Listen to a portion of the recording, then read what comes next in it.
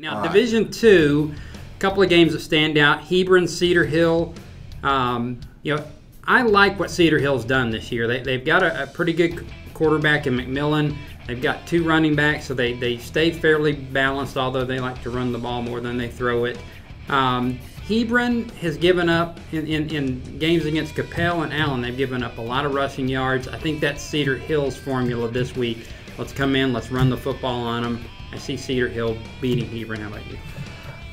I'm going to go with Hebron on this one simply because I, the one there's a great matchup. It may be the best matchup in the state. Demarcus Lodge, uh, Jamal Adams is a terrific individual matchup. If they, you know, Jamal's a safety, he'll get him sometimes. Sure.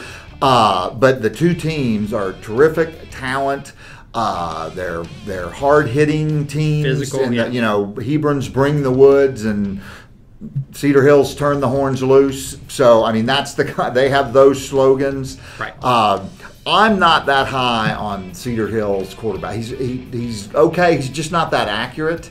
So I think Hebron's defensive pressure will be enough to make him a little more accurate. And Hebron's got several running backs, uh, and Jamal Adams can make a play at a receiver. So I'm going to go with uh, Hebron. I think Carson Profit, their quarterback, kind of breaks out a little bit in this Okay. game. Denton Ryan, Waco Midway. You talked a minute ago about a, a team having just a little magic over there with with, with uh, Mansfield Timberview. Denton Ryan's that team to me. They they seem. Joey Florence has been there a long time. They know how to win in the playoffs. Uh, Midway's got a good football team, but I, I see Denton Ryan getting past them and then playing San Angelo Central, and, and, and that's going to be a great matchup down the line. Your thoughts on that game? I, I really like Ryan as well. I actually thought they might pull off some upsets in that district with Hebron, Coppell, uh, but they're used to playing those type of physical teams.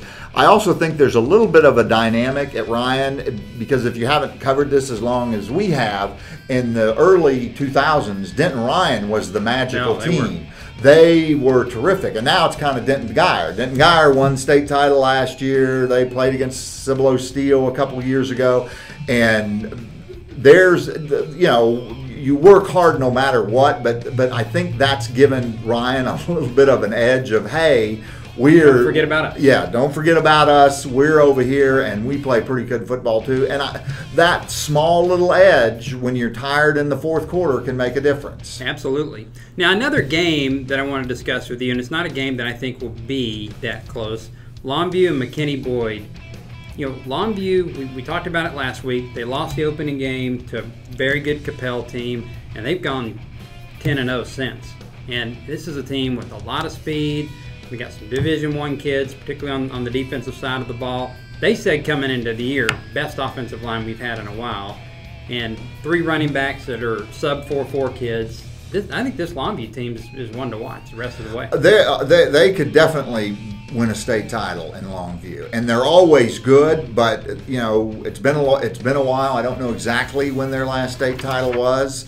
You know, they've been good a long time, but you know, is a long time. Bobby Taylor has played in the NFL, played at Notre Dame, and played in the NFL Right. and retired. Right. So Longview needs kind of a new generation of stars, and and this could very well be the team.